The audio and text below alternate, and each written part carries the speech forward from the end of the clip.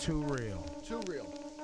Our brother Rosenberg Yep. has chose life, health, and knowledge of self over death. What are you clapping at? You don't even know what they're talking about yet. She figured it out. I know what it is. I I I think. See, this is why I didn't want to say it on the radio. I have to commit to something. Once I say it, all of New York knows it, and then everyone will say, "How's it going?" Oh, but then you just come in and flip flop like Go you always in. do.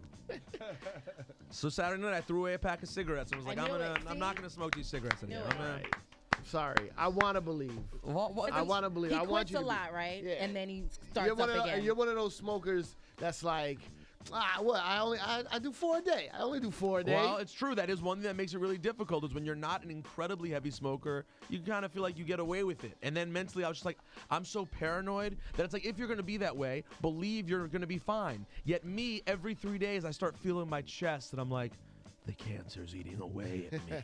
I thought you were So- doing the Logics, what do you say? the Logic cigarette. Electronic cigarettes. but they're Oh. called Logic. Oh, so that's a com- that's one company. one, that's E-cigarettes. When I tried doing that once, I ended up just li- literally using them nonstop. So here's what I'm gonna do, guys.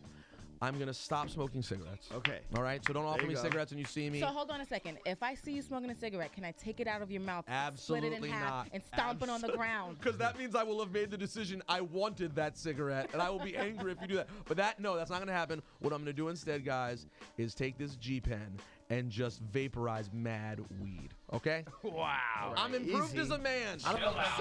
Rosenberg, K Foxx, and Ebro.